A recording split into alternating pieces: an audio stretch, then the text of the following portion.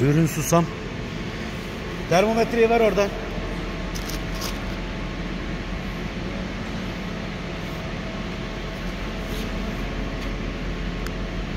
Evet,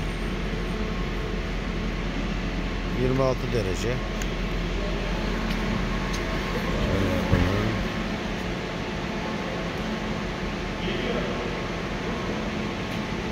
%30'u çalışmıyor sistem.